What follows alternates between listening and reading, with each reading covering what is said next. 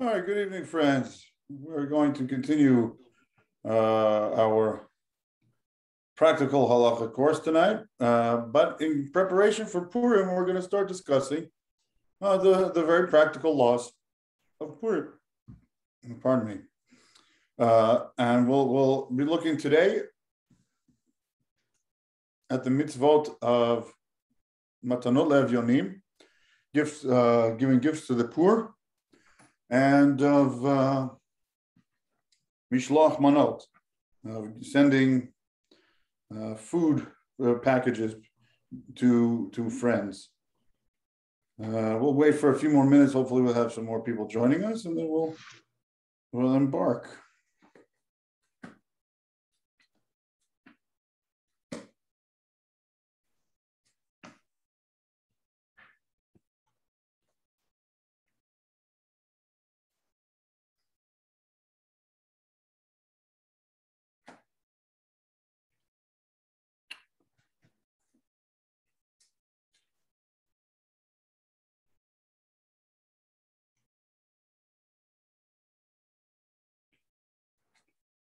to.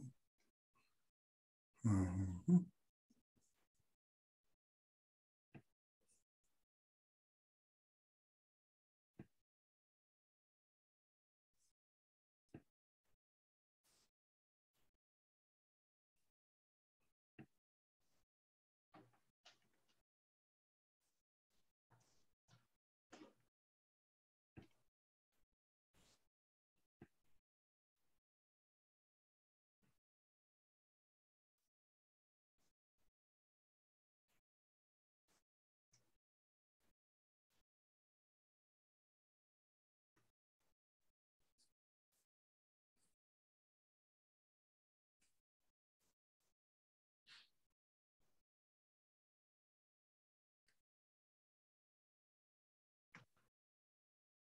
Okay.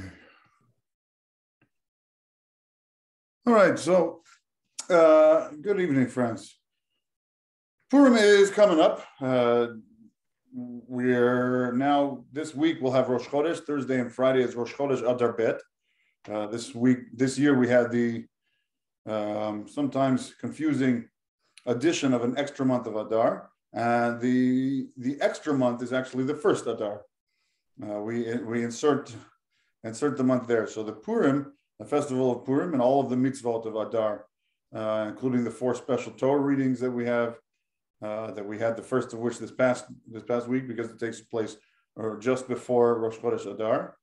Uh, that's Parshat Shkalim, which we read about the giving of the half shekel donation to purchase the animals that would serve as the sacrifices in the temple.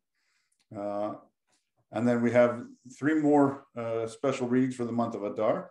First is Parshat Zachor. Uh, second, I guess, is Parshat Zachor. We just had the first of Shkalim.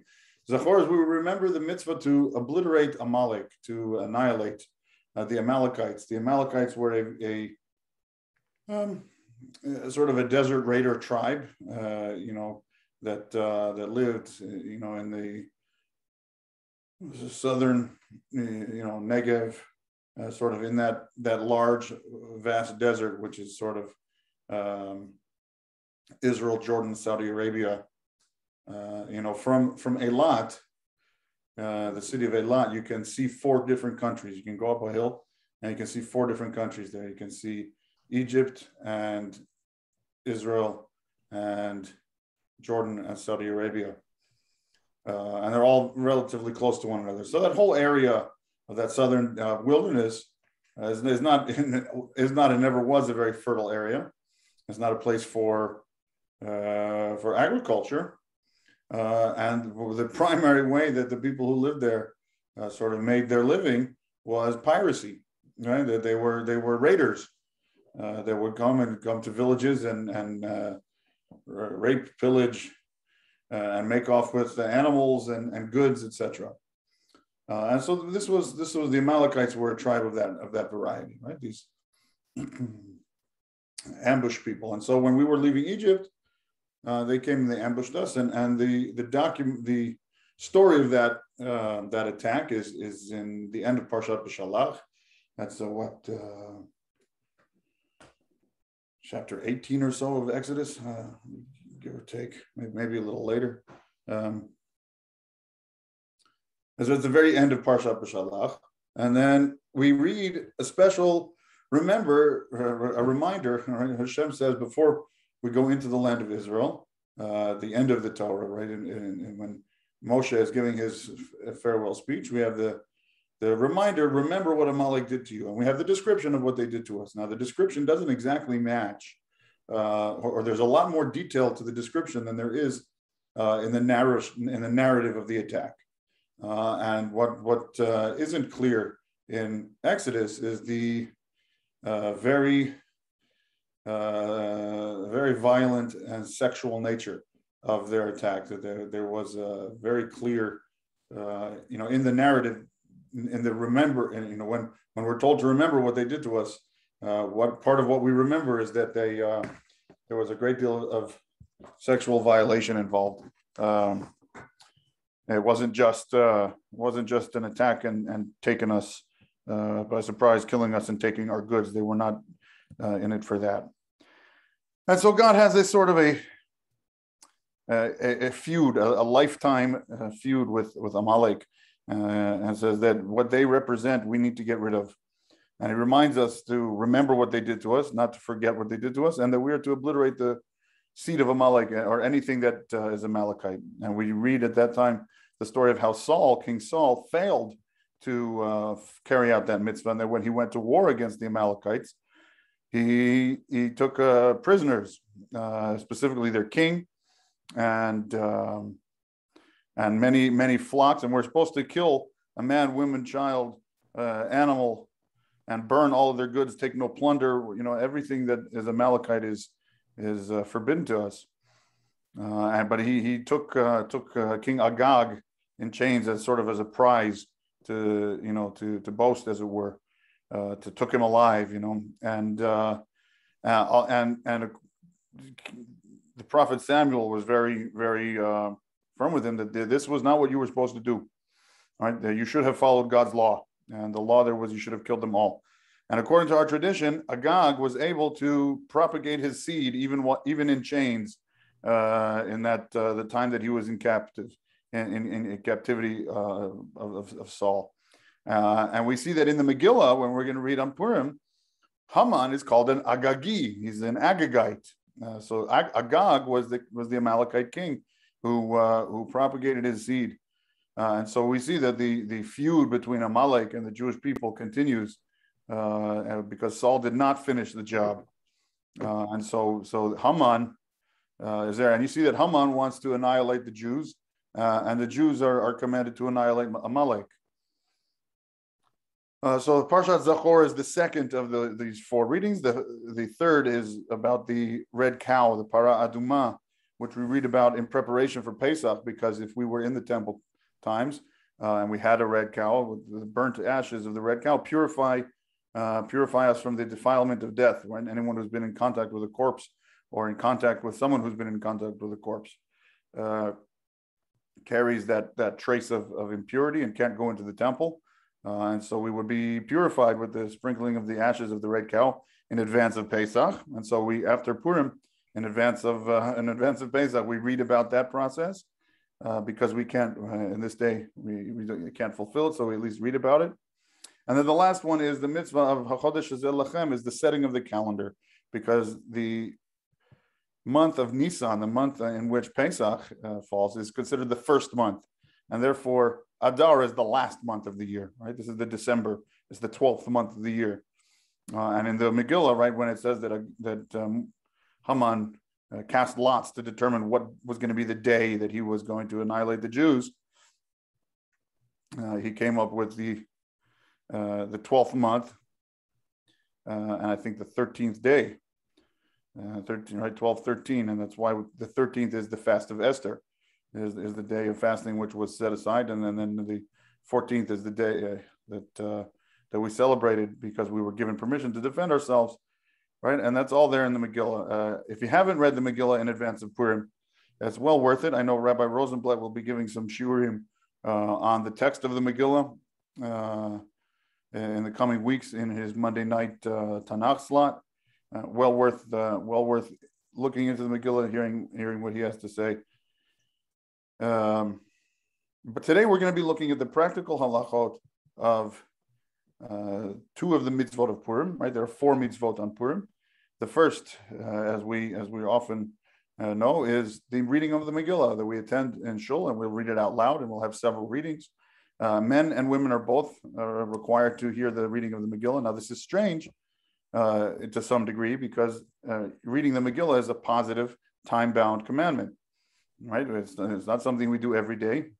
It's something we do only on Purim.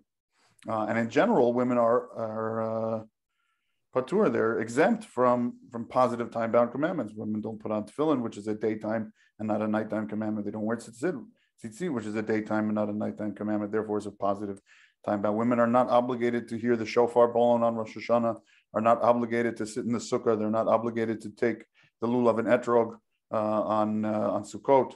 Uh, and so on and so forth. There are some that they are because when they're attached to a negative commandment, that's sort of the flip side of it. So just like you're from matzah, women uh, women are required to eat matzah because the positive commandment of eating matzah goes with the negative commandment of not eating bread. And so because it's attached, it's sort of a flip, uh, two sides of the coin. So then then you still have women still have to do, it. and that's why also Shabbat uh, women uh, have to make kiddush, right? They have or hear kiddush because keeping remembering Shabbat, the positive commandment, goes with the negative commandment of not doing any work on Shabbat. And so uh, that's another example. But the, the Megillah is different.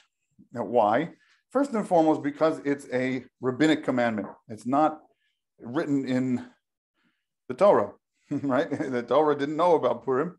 Uh, there are places that there's suggested uh, uh, clues, perhaps, that there would there there might one day be a such a thing as Purim.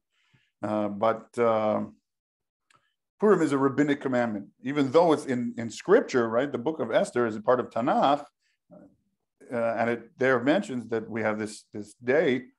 Uh, that's sort of a late, a latter day development. So even though it's part of Tanakh, it's still considered the Rabbanan. It's a, a rabbinic commandment because it's if the the rabbis of those days.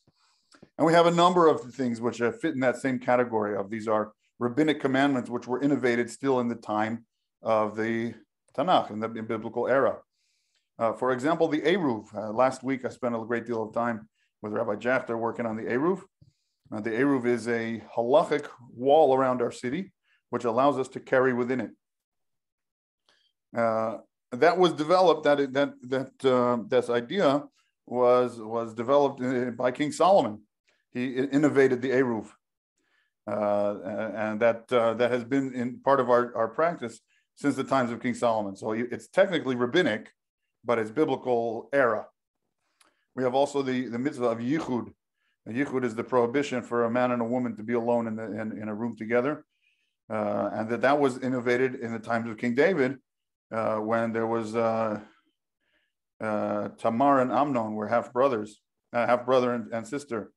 Um, but uh, Amnon raped his half sister, and from then on they made the rule of no no being alone with men and women being alone together in a room.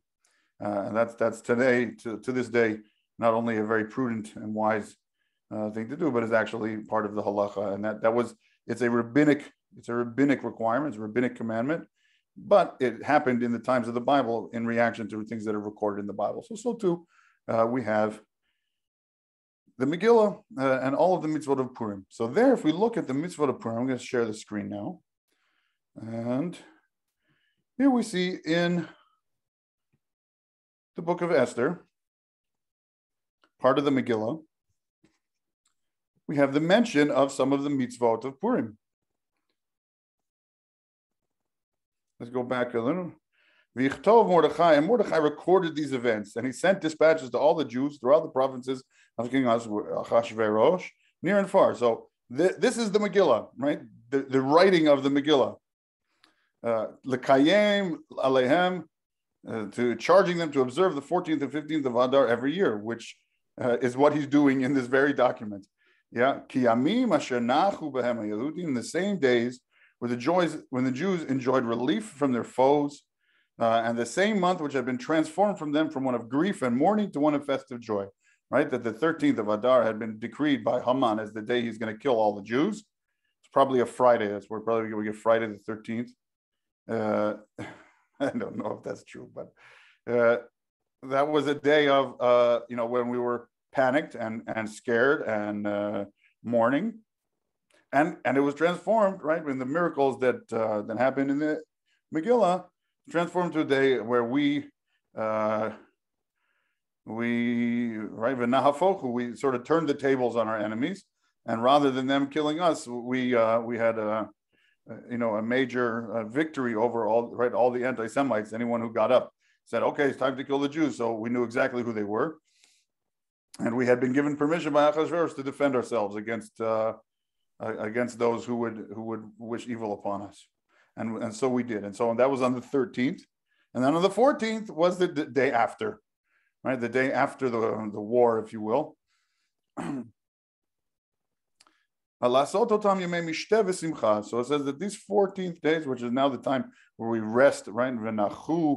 Uh, we rested from our from our enemies, uh, and that it was reversed. It was it was flipped, as it were. Uh, and so, so what do we do with these? The days of drinking and, and celebration. Right? Mishteh is a party, uh, but it's it comes from the word lishtot, uh, the Hebrew word which means literally to drink. So it's a, it's a it's not a dry party. Uh, Yemei mishteh v'simcha, a day of, of uh, drinking and celebration. Umishloach manot ish and a sending of gifts of food. Right, manot means uh, uh, meals. You know, um, courses of a meal. Mana rishona is right the appetizer. Uh, karit is the main course. Right? So mishloach manot to send meals or, or courses of meal each each person to their friend or to their neighbor. Umatanot le'avyonim and gifts to the poor. So we see here, uh, right there in Scripture, right there in the Megillah, it tells us some of the mitzvot of Purim. Uh, and so these are the mitzvot that we're going to be looking at uh, in a little more detail today. I know I sort of took me a while to get there, but I wanted to make sure we had the proper uh, the proper background, right? That, that coming through, and we'll we'll have uh, perhaps we'll talk a little bit more about Parshat Zachor, and we will next next week. We'll talk more about Parshat Zachor and remembering Amalek. But today we're going to focus on these two mitzvot uh, of mishloach manot ish of sending of gifts, uh, a person to their neighbor or to the person to their their friend. Right, re'ehu is, is the same word as we use. Uh, love your neighbor as yourself. Uh, yeah, so it. it uh, uh, it doesn't mean neighbor in someone who lives near you. Uh, it means neighbor in the sense of one who who is beloved uh, upon, to you, one one who you who you care about, right? So it's a time to send gifts to those whom you care about. And matanot you need my gifts and presents to the poor. Okay. And they accepted forever to, to perform these commandments which they had begun to do but and everything that Mordechai had written upon them in the Megillah. Okay, so here we're saying that, that we have not only uh, is it written to do it, but we have accepted to do it. And so these mitzvot, which are mitzvot de Rabbanan, they are rabbinic commandments, even though they're written in scripture, they're sort of uh, biblical rabbinic, right? We have, there are even some things that, that are suggested that they are of rabbinic quality, right? That they're not scriptural commandments, but they were innovated by Moshe himself. Yeah, and there, there's, there's, uh, uh, things of that, that rabbinic laws that, uh, that like the idea of muktzah, that there's something uh, which uh, which you're not allowed to handle on Shabbat, even though the using it, you're not you, you're doing any malacha, you're not actually doing any transformative work. You're just handling a sickle, right? What's wrong with handling a sickle? Well, a sickle is a kind of a tool that you use to do prohibited labor, so you're not allowed to handle it, right? And so that idea of muktzah is, is perhaps uh, is a rabbinic idea, but it dates back to the era already of Moshe Rabbeinu, and it comes uh, very much from the parasha that we just read uh, yesterday. Wow. Okay, so now we're going to go into uh, into the halachic literature. I want to first look at it in the Rambam. Uh, because it's good to see things in the Rambam, and the Rambam is, uh, you know, he's uh, 700 years before the Kitzur Shulchan Aruch. uh, you know, he's writing 700 years before, and and uh, and you'll see that he, but he's also purposefully uh, brief, just the facts, ma'am. You know, he's not given a. Well, that's not true. Sometimes the Rambam gives us little juicy nuggets uh, of of big ideas uh, that that sort of put the whole thing. But here we're going to look, look first at the uh, the the these commandments in the Rambam.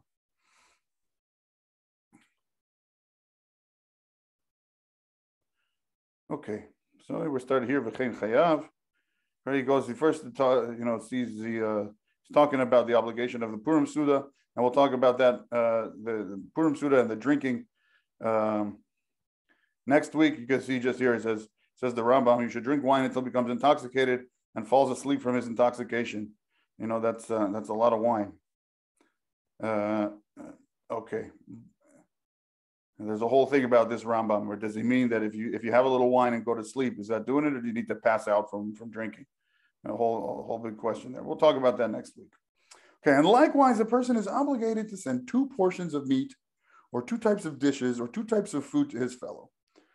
Uh, why does he say meat? There's nothing about it that says meat. I said the purpose of when he says meat, it doesn't mean that it has to be meat or that it has to be fleishix. Uh, but the purpose is that it's not supposed to be something kitschy not supposed to be something cute or or, uh, but it's supposed to be a proper meal, right? That when you give somebody mishloach manot, uh, it's supposed to be something that if they didn't if they didn't have a Purim feast already uh, set up for them, that this could be their Purim feast. So when you see people that give you know a little package of Smarties and uh, you know and a box of raisins, that's a that's a skimpy that's a skimpy uh, a skimpy Purim Suda. Now it doesn't mean that you haven't fulfilled the mitzvah, right? And specifically, mitzvah manot is, uh, is, it can be minimal, and it's much better that a person should uh, give a very small mishloach manot of smarties and raisins, uh, and and spend their money on matanot levyonim of giving uh, whole, you know, giving uh, open-handedly uh, to the poor and the people who are needy. That's a much uh, a much preferred way to spend your money on on, on Purim than spend, send, spend you know uh, sending an elaborate gift basket to to your friends and and giving you know 10 bucks to the poor.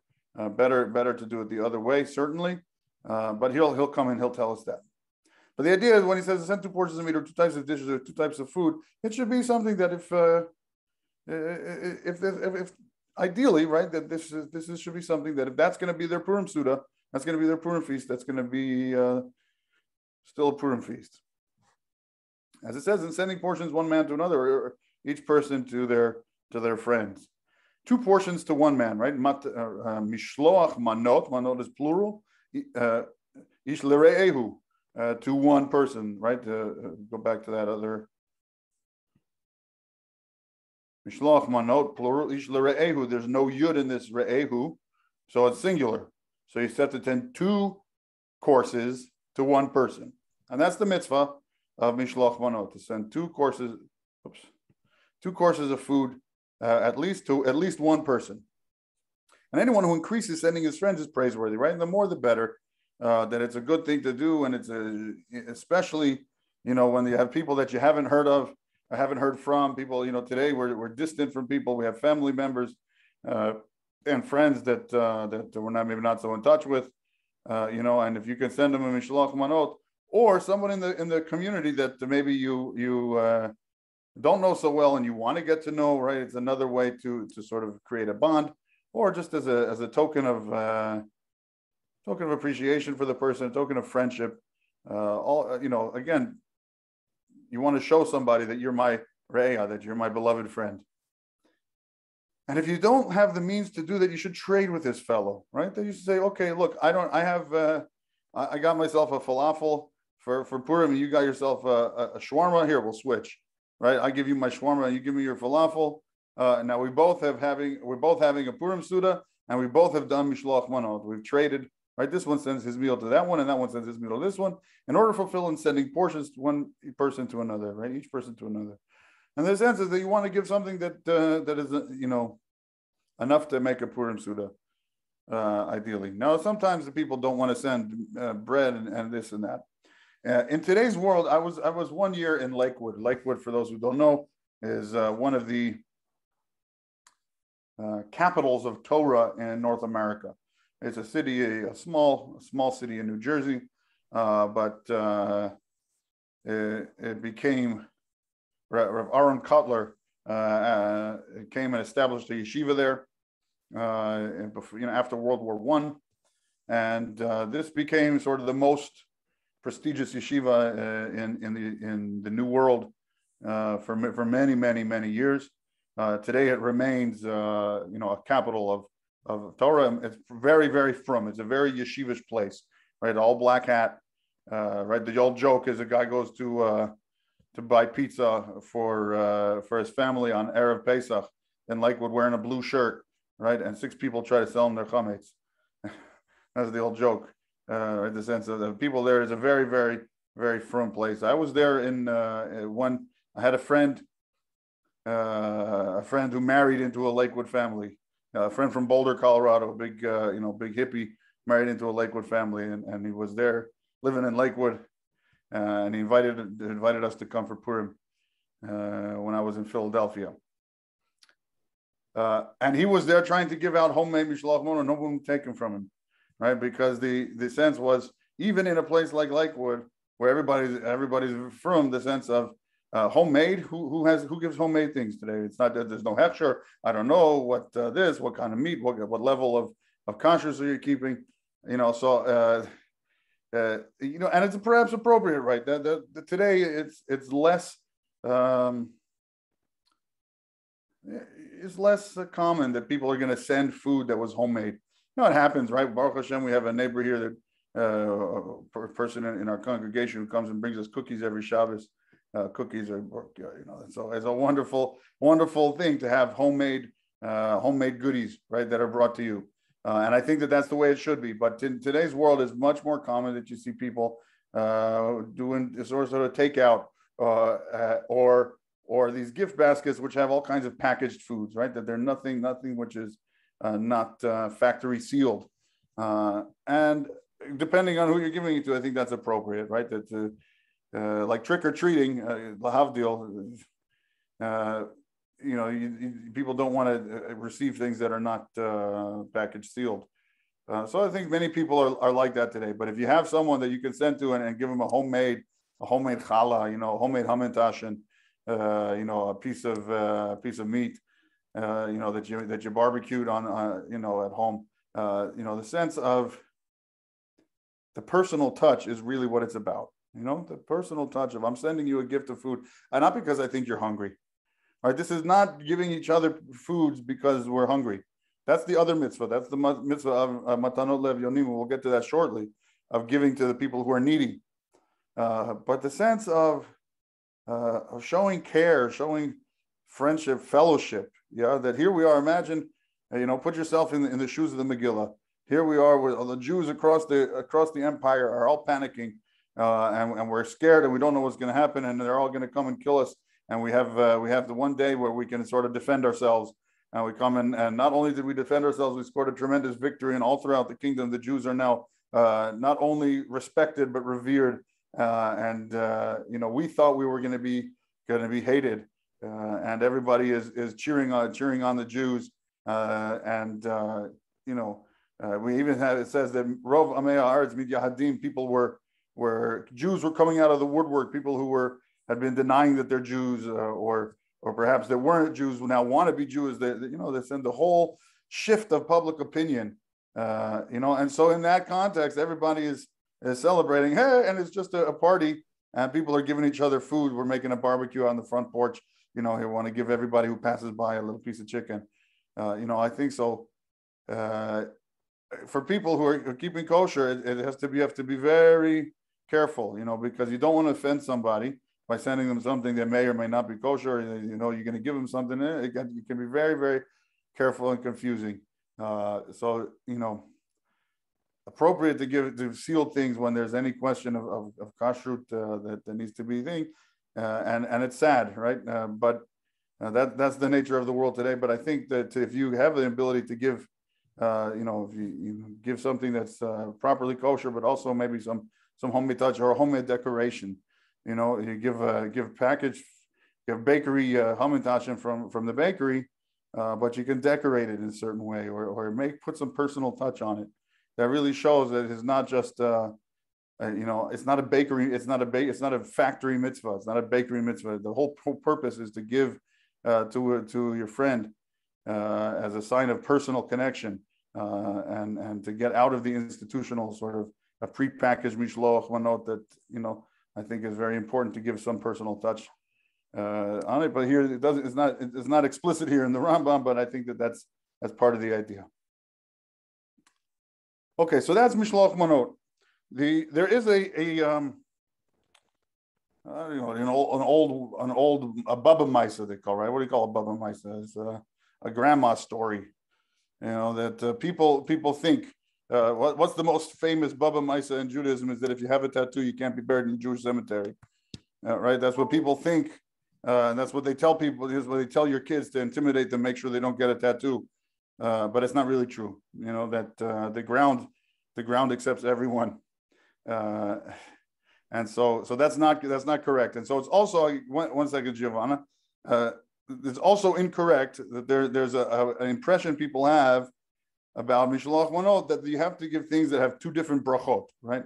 That if I give you, I can give you uh, bread and wine. They make a hamotzi on one, you make a borei pri hagafen, but I couldn't give you an apple and an orange because you make a borei pri ha'etz uh, on both of them. That is incorrect. You can give two items that have the same bracha, and that is perfectly kosher. So if you have chocolates, which uh, you're giving, which are shahakol, uh, and a beer, which is also shahakol, uh, it's okay to give two things that have the same bracha.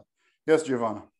I have a question. You said about you appointed the tattoo, right? I have a question like converting, you have to get inside the mikveh, right? And you have tattoo all over your body. Like in that case, what happened? Yeah, well, that's a very one. It's a good question. I, I knew that as soon as I mentioned it, we get on the on a whole tangent. But uh, when going into the mikveh uh, to convert or for her family purity, uh, you know, any, any any time that you have a mikveh that's uh, that's required, if you're going to go up on the Temple Mount, uh, even today, right? If you can go up on the Temple Mount, you need to first go go to the mikvah. So there, what you need to do is make sure that there's nothing stuck on your skin that's to separate between the water and your skin. Now, a tattoo, because the ink is actually underneath your skin, doesn't uh, doesn't post that kind cause that kind of a problem. Uh, nail polish there's a whole conversation to be had, but nail polish is on your skin and it can come off. And so there's this, this is uh, uh, more of a problem of nail polish uh, or of, or of uh, makeup of any kind, you know, or, or um, they're worried about uh, hair extensions, right? If a woman or a man has uh, has a, hair extensions, right, a weave that's in there that's not natural hair, that they're that has that that could be a problem for the mikvah because their hairs, which are part of their body, or may not be exposed to the water where, where, where they're tied together. Um, but, but a tattoo is not a problem for the mikveh and it's not a problem for the cemetery. Yeah, you have more question? Yes, I do. Like, it's the same like question about the conversion. Like, if you go to a rabbi and you're like waiting for the conversion, can he actually do not make you convert just because you have tattoos? it's a it's a wonderful question. You, you know, what can they do? You know, there's it's a very uh, I'm not sure who you're going to appeal to to make them change their mind. Uh, but having tattoos is not is not cause for rejecting conversion. Uh, according to the Torah, non-Jewish people are permitted to get a tattoo. It's not prohibited. Uh, you know, it's only prohibited to Jews. Uh, the, the, the seven mitzvahs of Bnei Noach, uh, the seven Noahide laws apply to not all to all people. Uh, and there are certain kinds of tattoos which are idolatrous, and that would be prohibited, right? To have an idolatrous tattoo, right? Uh, you know, have uh, uh, you know have some foreign god or or the name of a foreign god or something, uh or a you know a, a, tattoo, a form of a tattoo which is associated with with some idolatrous cult uh would be prohibited. But even that would not would be not be cause per se for rejecting a convert. Um, you know, I think that's the kind of a situation where you need to make clear uh, to them that uh, now that you're converting, you need to know that you're not allowed to get any more tattoos, right? And that, uh, that our sense is that uh, our body doesn't is not ours per se, right? It's uh, on loan from God, and we're we're taking care of it, and we don't have the right to to defame it would, or, or to alter it. Uh, of course, for medical purposes is different, right? Then we're, we're taking care of it. Um, right. So nobody's going to tell you that you can't have, um, you know, a, a pacemaker or something, you know, for any, any medical thing uh, that, that, that's different. Um, but, uh, but tattoos and, and brands, right? Marking of the skin with burning uh, or cutting uh, to leave a scar, all of that is, is, is expressly prohibited, uh, you know, um, for Jews. And so, I, you know, I think that's important that uh, today there's a very lot of tattoo culture today, right? Perhaps more than more than any other time. So it's important that uh, as you have converts coming in to make it clear that, that getting another tattoo is uh, is prohibited, but you don't have to remove the ones you have. Uh, you know, I have a friend, a dear friend, uh, a Breslover Chassid. Uh, you know, he lives in Israel. You know, he's got payas and all the whole thing. He's got beautiful dragon tattoos all up and down his body uh, from before from before he converted. Uh, you know, it's. Uh, it's very it's, it's astonishing sometimes you see, but uh, that it, it's it's uh, it's not a problem. Yeah, Giovanni, you have more more question, or is it your? It's kind of like I'm thinking like uh, back to the Holocaust. Uh, they tattoo Jews with a number. That's right, and that that uh, that's that's a terribly uh, um, dehumanizing, you know, and it's like, uh, and, you know, and so it's certainly uh, certainly that. I, I don't want to get overly distracted with the tattoos or anything else. If you want to have uh, a longer conversation about that, I invite you to reach out to me. We can set a time. Uh, but let's not uh, let's not spend all uh, all our energy on tattoos when we're here, here to speak about prayer. Okay. Continues the Ramachayav. Adam lechalek laniyim Purim. You need to you are required to distribute charity to the poor and Purim. Right? This is not the same as giving tzedakah. It should be noted. Is not the, you know, there are some times that we have days in the calendar which are set aside to, for the performance of a mitzvah, which is not really connected to that day. I'll give you two examples. Uh, Yom Kippur. Yom Kippur uh, is a day that we set aside to do tshuva, right? There's a special mitzvah to do tshuva, to repent, uh, to confess, and to sort of uh, repent uh, from your sins on Yom Kippur. But repentance is not a time bound mitzvah. It is not nothing, it's not specific to Yom Kippur. uh, and that's important because then women are, of course, not exempt from it because it's not a time bound commandment. Uh, but rather, Yom Kippur is a day which has been sort of set aside for doing this mitzvah, which is always upon us to do. We always are commanded to repent. Whensoever we have the, the uh, re- recollection of a sin that we did, we should immediately take the a moment to say, "Oh, I'm sorry, I did that, Hashem. Please forgive me. I won't do it again." You know that uh, that we always are commanded to repent, and yet this is a day that we're sort of taking the time to do that. I'll give you another example. Uh, Pesach. There's a commandment on Pesach. We say the story. We you know tell the story of the Exodus. We remember the the Exodus from Egypt. Now, remembering the Exodus from Egypt is a is a commandment that's always upon us. It's not a time bound commandment. Uh, we, we learned just last week in the in the Davinology class about uh, how right says Laman discard Yom Tzecham Eretz Mitzrayim Kol We have to remember the the Exodus from Egypt day every day of our all the days of our lives, and that includes the nights, uh, and therefore it's not a time bound com- commandment. Uh, and, and, so uh, that's why women have to do that mitzvah on Pesach because it's not a positive time bound commandment.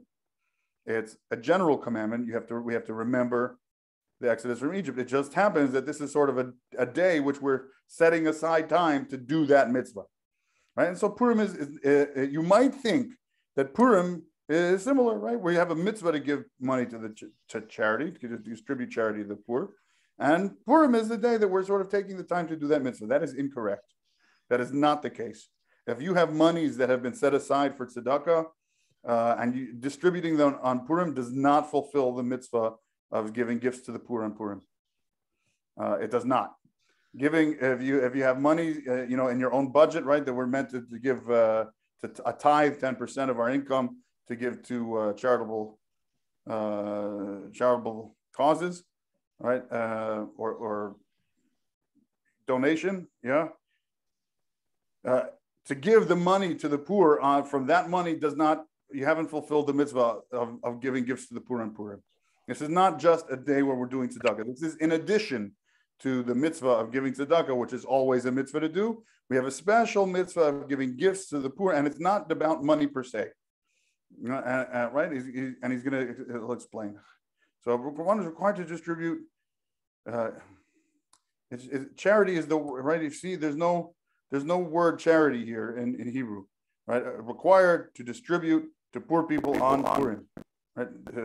There's no, no there's no charity. There's, there's, no. It doesn't say tzedakah here, right? It's gifts to the poor, uh, and it's not about money per se. So he says, do not give to less than two poor people, right? The, remember back in our verse in Esther, we had Mishloach Manot sending two courses to one person. And here we have Umatanot gifts to multiple poor people. So now you have to give to at least two people. You have to give to, you know, give gifts to at least two people who are who are poor or or, or needy, right? This is different than Mishloach Manot, which is not about need. It's about affection and showing uh, fellowship and affection. And here, this is about specifically people who have need, but it's not just so simple as they need, I have, I give to them. Uh, he's going to tell us it's, it's, it's, uh, it's better, for, better than that. One gives, uh, you know, gives a gift to each one. Give one gift to each, at least two people. Coins, right? You can give money, or types of dishes or types of food, right? It's, you can also give food as the, as the gift uh, and it's not uh, it's not limited to to money, and it's not really limited to food either. Uh, to give a present to somebody, you know that it, that you know happens to be needy, but you didn't give them a, you know a handout of, of you gave them a nice uh, you know, a nice, uh, I don't know what the what the brand is, right?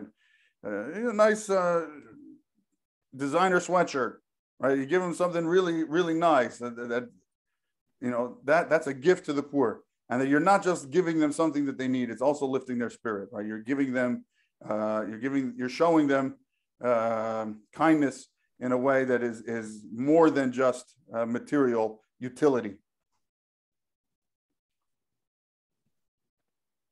Oops. So many tabs. Okay. The applicant's form should not be scrutinized. Normally when we're giving tzedakah we have to ana- analyze who do we want to give it to who's the best cause. There are all these priorities in giving, right? Who we have to give it to our people who are who are local first, or people who are in more dire straits? We want to avoid giving it to people who are going to sort of squander the money on on, uh, on things we don't think are are uh, worthy, right? We want to. So there's all a question of, wanting to make sure when we give our, our tzedakah that we're going to give it to people who are deserving and worthy and are going to put it to good use. Uh, we don't. That's not. That's not necessary on Purim. We don't. We don't even. We don't even do that. The applicants for Purim money should not be scrutinized. It should be given to anyone who holds out their hand. Right? This, here's the the the kol poshet yad. They told them anyone who puts out their hand as if you know, please, sir, uh, you know, uh, you, are supposed to give to anyone and everyone that you see. Uh, you know, you see kids in Israel coming out, kol poshet yad Right? They come in, they hold their hand. They say anyone who puts out their hand, you give to them. Uh, and you, and and so it's good, uh, you know, to, to make that a practice.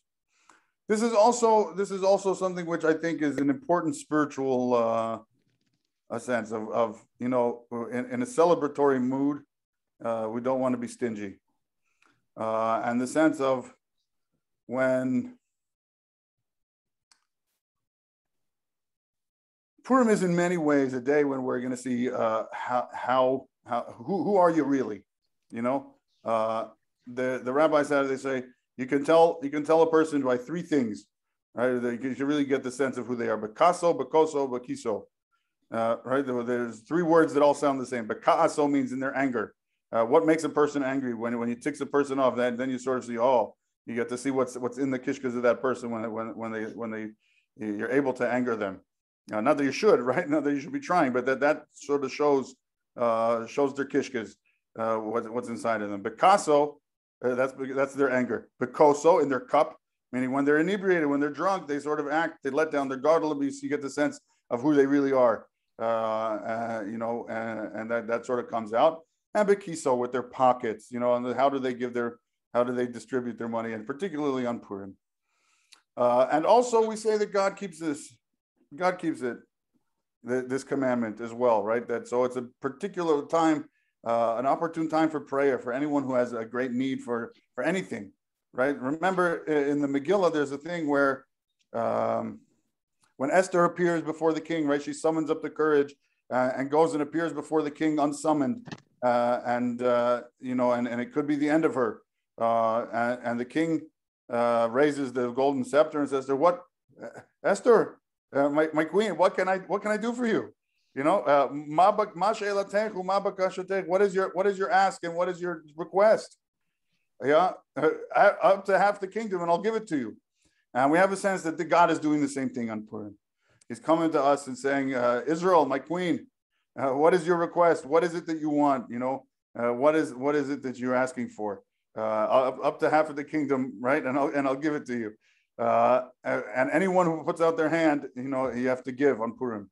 Uh, so in the same way that we, it's a proper time to, to daven for anything that you need for something that's a, it's a, a very, very opportune day for, for Hashem is in a, in a, you know, the Ketov Lev Hamelech Bayayin, like it says in the Megillah, uh, that uh, when, when the king's heart was was joy with wine, you know, and so so too the the king, uh, the real king, uh, on, on Purim is, is, is in a in a jolly mood and willing to be giving. So appropriate to really daven, uh, you know, in in Hasidic circles you see on Purim mincha in the afternoon prayer, uh, people it's like the Super Bowl of davening people really go to town. They really daven because this is this is when the king's in a good giving mood. Uh, really opportunity, but also the, to the degree that we give, uh, so also we're given to, you know. And, and when you open your open your hand and open your heart, uh, that uh, that it's you know you can make um, uh, making a real impression on God, as if to say, you know, I'm giving, you give uh, as well. Okay, Purim money must not be diverted to any other charity. We don't uh, you, you, know, you can't say, "Oh, I'm giving to uh, to the foundation that does this, that, or the other thing." You really want to make sure that the money, that the gifts to the poor is actually distributed uh, to the people in need on Purim Day, uh, and it's not it's not something in general that you add to the uh, you know to to to the fund that's going to take care of orphans. It has to be something very practical and tangible that you give to the poor on Purim Day. Okay.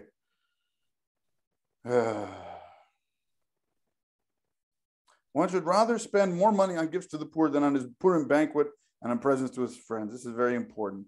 You know, how much uh, elaborate things we had, uh, you know, people make for Purim Suda, make the most grand meal of the year. Some people make it for Pesach Seder, some people make it for Purim Suda. But certainly, you know, top five uh, meals of the year is the Purim Suda. You see people going to make an elaborate and, and fancy and delicious, wonderful dishes.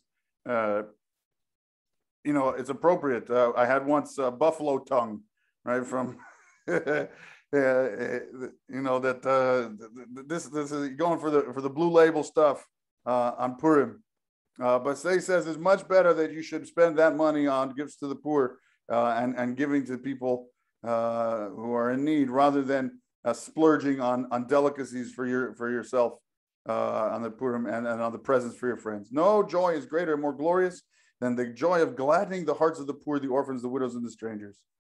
You know, the best thing, uh, it's not just that you're you you you're you're giving them, you're taking care of their needs. It's not a cold giving, right? But on Purim, you want to make sure that they're taken care of. You want to give to them with a good heart and, and gladden them. The Rambam says in another place that the best way, uh, the best way to fulfill the, these three, the three commandments of, of the Purim feast and giving to the poor and mishloach manot is to invite a poor person to your to your banquet. Invite someone who's needy and have them come to your home and and bring them food. And in that doing, you're doing all three at once. Uh, but moreover, you're extending your heart to them. You're making them feel uh, cared for and beloved. Uh, we have an opportunity. We're having a wonderful Purim Suda at the at the show this year, uh, sponsoring someone in need or or or buying you know buying a meal for someone who, who, who, doesn't have one is a wonderful way to invite them to come participate in the community include them in the community and they and they feel welcomed and included uh, and they're getting, you know, the, the, the, the, fact that they're needy and there's a wonderful meal uh, that they're invited to this. So that's, that's the prime way to fulfill all of the mitzvot at once. And in the sense that the, the lifting of their hearts, right, the gladding of their hearts, as we say, it's a day of cel- joy and celebration. Uh, so that's, that's the essence of it. Right? And so taking care, and unfortunately we have in our community today, uh, uh, orphans, uh, I don't know, widows probably, you know, there are people in, in the Jewish community here in Vancouver uh, in dire need, and it's appropriate that we reach out to them. Uh, and so anyone who wants to uh, to do Matanot Levionim by uh, uh, by sponsoring, you know, uh, you know, a, a, a, free meal for someone to come to the shul and participate in the Purim Suda, that's a, a really a, a, wonderful way to do it. Okay, gladdening the hearts of the poor, the orphans, the widows, and the strangers. He who gladdens the heart of these unhappy people imitates God, as it says, "I am, uh, I am Hashem," to revive the spirit of the humble and to put uh, and to put heart into the crushed. Right, the sense if you give you give them their heart back, you, you show them show them that they're cared for, that they're not alone, uh, and that, they're included in, in the celebration and the joy of the community. Okay, we're going to switch away from the Rambam. We have just a few minutes left, but we're going to get a few more uh, a few more details here.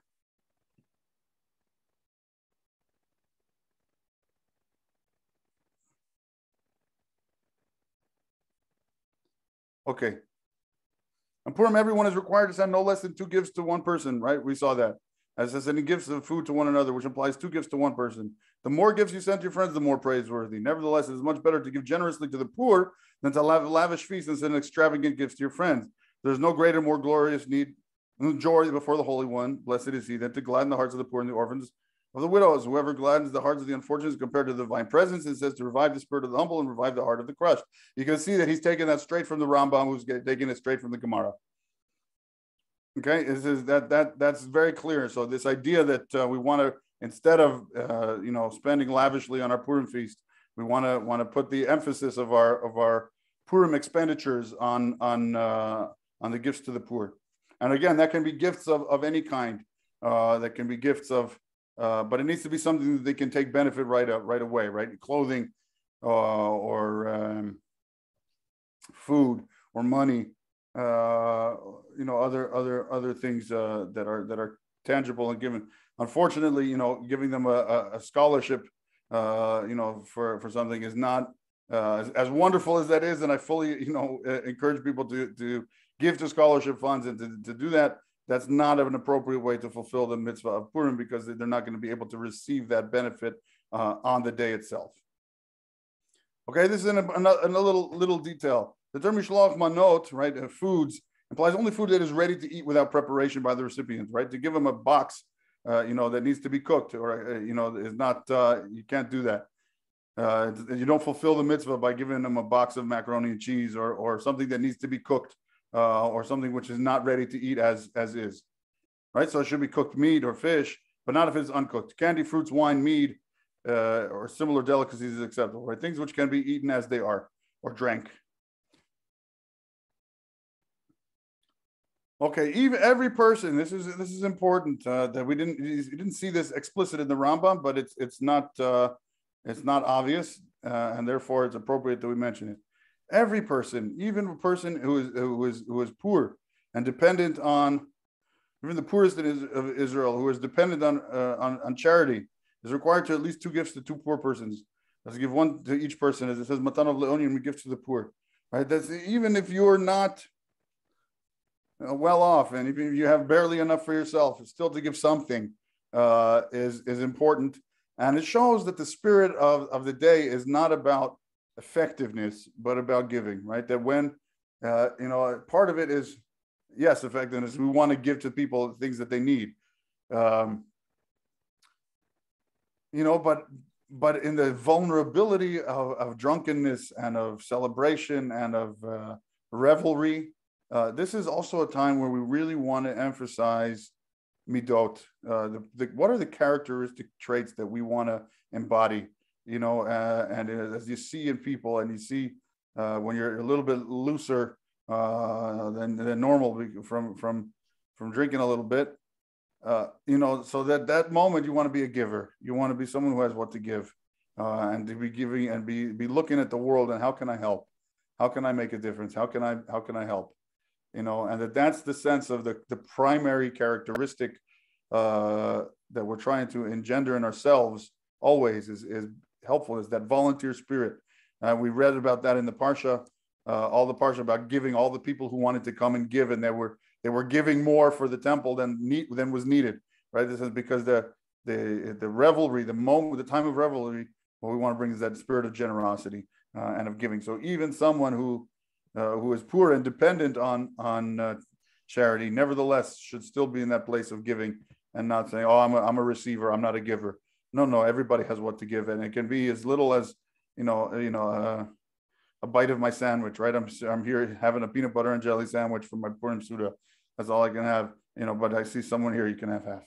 You know that that that person is give is doing mishloach manot uh, and doing matanot levyonim, uh, right? And that that that generosity is, is very dear to Hashem, and it's not uh, it's not about the quantity per se, but about the good the kindness of heart that's expressed. Okay, implies two gifts to two poor people. Should not be selective in giving your, your, your gifts on Purim. Whoever holds out his hand to ask for charity should be given a donation. If you're in a community where there are no poor people, right? There's no nobody poor in Vancouver. Hmm. Uh, you should either keep the money to the needy persons or send it to them. Ideally, you should send it to them. We want to have it be like actually deployed on Purim. Uh, you don't want to keep it in, in your in your hand. Now, if it happens to be there's really no one, you can't find someone uh, you know needy. Uh, they don't have to be Jewish. They don't have to be uh, anything. You know, anyone who's who's in need uh, that you can give them that they'll be happy to receive what you have to give them is good. You know, there's a guy who sits outside a Safeway. Uh, you know, finding finding someone uh, to whom to give. Uh, you know, in in in Illinois, in the college town, we would make make brisket sandwiches. You know, we go and distribute them to the homeless people. you know, and and I think that the the sense of um, chesed, right? That, that we want to be Purim is not just a day of like, you know, this is the prototypical. They tried to kill us. We won. Let's eat. This is this is that holiday, you know. Uh, but there's also they tried to kill us. Uh, we won. Let's give charity. Let's give tzedakah. Uh, you know, let's let's distribute uh, food and, and gifts uh, and do good for the world. And that's that's how Jews celebrate. You know, and I think that says so much about the character of our people and the kind of people that we want to be. Is what we're in a victory celebration. Uh, we're, we're, we're, we're giving. Okay. Women too are required to send mishloach manot, gifts of food, and to give gifts to the poor. Right. This is this is a positive commandment that is time bound. And why are women involved? And same thing goes with the Megillah. All the four mitzvot of Purim, uh, a woman is is just as obligated as a man. Why? Uh, and the answer that they give is because they were also included in that miracle uh, Haman wasn't going to save the Jewish women. You know, uh, he, he, you know the the the uh, uh genocide is genocide. You know, um, and they were going to kill us all, and they were also part of the miracle. And also, not only were they part of the uh, of the miracle and that they were saved, we also see that this is one of the one of the uh, prime, you know, the, the prime heroine of the story was was was a woman here, right? This is Mordecai as well, right? Mordecai and, and Esther both. Uh, but really, at the end of the day, it's called the Book of Esther. It's not called the Book of Mordechai. And she was the one who risked her life and had to go into uh, into the king. Uh, and she was the one whose charm and grace was highlighted. And uh, and she was the the how do you say the the finger of God that wrought salvation. You know. Uh, so so when we say that women were involved in that miracle, in, indeed they were. Right. indeed, indeed. And so women are included in this in all of these mitzvot. Uh, a married woman and a married man are considered one uh, financial being, so in, in terms of their giving. Uh, but if there's two of them involved, so uh, right, so they should give instead of just uh, uh, you know to to one person for mishloach one order to two people for gifts to the poor, should give to two and four, right, and, and double double the the number that they're giving. Okay, and uh, there, there's a sense uh, that you know not to be too too uh, effuse in our celebration. Uh, it's appropriate. Women should send mishloach manot to women and men to men. That we don't want to get confused in in terms of the the celebration of of, of uh, inviting a spirit of licentiousness in. Uh, and furthermore, there's even a possibility that a you know that uh, people, you know it's not Valentine's Day, you know, and that people shouldn't get uh, get confused. Um, that, that that's not the spirit of Purim. Uh, qu- quite the contrary, right? That the whole the whole um, there's a whole nother shiur we could talk about uh, sexuality in the Megillah, uh, uh and there's a whole nother thing. But here that they want to be they want to be careful now that we shouldn't uh, shouldn't start giving mixed messages that are not to be not to be uh, unclear. Okay, regarding donation to the poor, women may send uh, right. Regarding donation to the poor, however, women may send to men, and conversely, men may send to women. Right there, when it's giving to the for the poor, it's not so much about uh, an, uh, the, an articulation of, of uh, affection, uh, and rather is is uh, you know wanting to give and to lift spirits. So that that's that's okay. Some women rely that their husband, the husbands give on their behalf, but this is not proper. They should be stringent about this. That everybody should act, be active and participating. Okay, as you can see, next he goes into uh, uh, into all the things about the, the celebratory uh, meal and uh, the role the, the role of wine and alcohol in, in Purim. Uh, we'll talk about that next next week. Uh, next week we're going to be covering Parshat Zachor, the mitzvah of remembering Amalek and the, the war that we're commanded to fight against Amalek in every generation. And the mitzvah of the celebration of Purim and how it is that that uh, fulfills, right? How is it that we're fulfilling the mitzvah? And uh, and the famous the famous uh, statement of uh, of our sages that a person should be inebriated on Purim to the point that they can't distinguish between curse Haman and bless Mordechai. Uh, and there's a lot of all kinds of things and people who, who perhaps thought uh, thought this means something that it doesn't mean, or thought it doesn't mean something it does mean. Uh, so we're going to try and make sense of all of that that next week. I know that's biting off a lot because what are the two things uh, uh, Amalek and, and drinking have to do with each other? But that's uh, that's what we're going to try and connect next week. Uh, as we get closer and closer to Purim, please check out all the wonderful classes and activities and other things that we have going on at the shul. This is really we're coming out of the uh, out of the pandemic. We've had uh, restrictions lifted. We can eat together in the shul. You know, it's really an, an, awesome, awesome moment for us to celebrate as a community. And I, I encourage everyone to get into it. You know, they uh, uh, in Israel they say that the, the Purim and Pesach uh, are inverted. What do I mean? Uh, you know, they say in, in Chutz in, in the diaspora, Purim is for the kids and Pesach is for the grown-ups. But in Eretz Yisrael, Purim is for the grown-up and, Pes- and is for the kids. Uh, and I think that there's there's a lot. Uh, Purim gets to be sort of this cute holiday that we want to make for the kids, right? And, and uh, but there's so much depth uh, and so much richness and and really uh, subtlety and and um, texture to Purim. You know that that more than perhaps any other holiday that uh, has some adult themes and, and a lot of uh, good things for. So I encourage everybody not to not to have a juvenile Purim. You know that uh, really let's update our not not to have a pediatric Purim.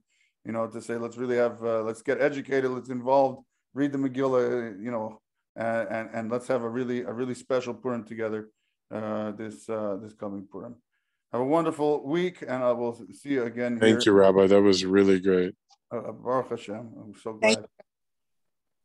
Okay, have a good week, and we'll see each other. Uh, for those who want, uh, tomorrow we have.